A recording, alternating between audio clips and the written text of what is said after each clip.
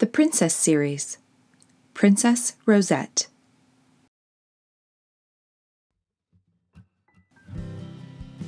A long time ago, in a place not too far from here, there lived a royal family that had two brave sons and a wonderful daughter, Princess Rosette.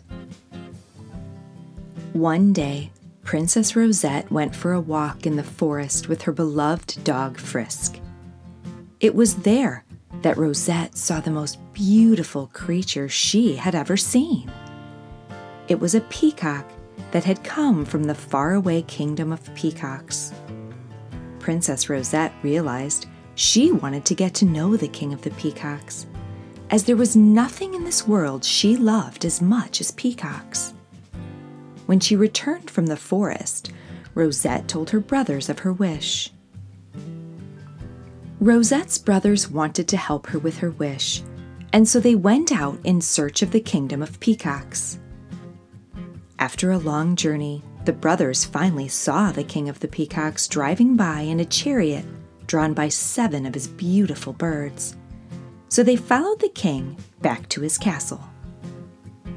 Rosette's older brother pulled a portrait of Rosette from his bag and showed it to the king of the peacocks. He told the king that his sister would love to get to know him, as she too loves peacocks. The king of the peacocks stared at the painting for quite some time. Finally, he said if she was as nice as her portrait made her seem, he would like to get to know her too. If she wasn't nice, Rosette's brothers would have to spend the rest of their lives in prison. Rosette's brothers agreed to the king's demands.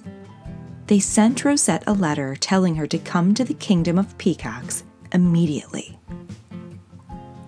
With her dog Frisk by her side, Princess Rosette set off for the kingdom of peacocks. Her nurse joined her for the journey, along with the nurse's daughter. Princess Rosette trusted her nurse to take care of her while she explored the new kingdom and met the king. But the nurse had other plans. The nurse wanted her daughter to be the one who met the king. The nurse told the captain that she had a plan to throw the princess overboard that night and put the princess's clothes on her daughter so that she could pretend to be the princess and marry the king of the peacocks. The nurse offered the captain all the gold she had, and he agreed to the devious plan. While Princess Rosette was asleep, the nurse, her daughter, and the captain took Rosette's mattress and threw her overboard. Luckily, the mattress was filled with peacock feathers, so she was able to safely float on the water. Princess Rosette and Frisk drifted off away from the boat while the nurse and her daughter continued on to the kingdom of peacocks. When the boat arrived in the kingdom of peacocks, the nurse's daughter, pretending to be the princess, was rude to everyone she met she went up to the king of the peacocks and introduced herself as Princess Rosette. The king of the peacocks was shocked.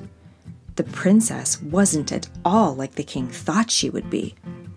She wasn't nice to him or anyone in the castle. Because of this, he sent Rosette's brothers to prison and sent the nurse and her daughter away immediately. Out at sea, Rosette and Frisk floated on their mattress in the ocean for two days before they reached the shore. Rosette sent Frisk into the nearby village to get food for dinner. Frisk went to the nicest smelling kitchen he could find and took the food back to Rosette. Meanwhile, the king of the peacocks was upset to find that his food had been stolen from his kitchen and sent guards to see who had taken his food. The guards found Rosette and Frisk and took them to the castle to have them imprisoned. There, the king took a closer look at the girl and realized she looked just like the princess from the portrait. The king asked the girl her name, and she told him her name was Rosette. The king of the peacocks was amazed. the rude girl he had seen earlier hadn't been the princess at all. The king of the peacocks released Rosette's brothers immediately. Rosette and her brothers were happy to see each other again. Over the next few years, Princess Rosette and the king of the peacocks fell in love and eventually had a beautiful peacock themed wedding. The king of the peacocks and Princess Rosette lived happily ever after. The end. This has been Princess Rosette, narrated by Paula Larvik.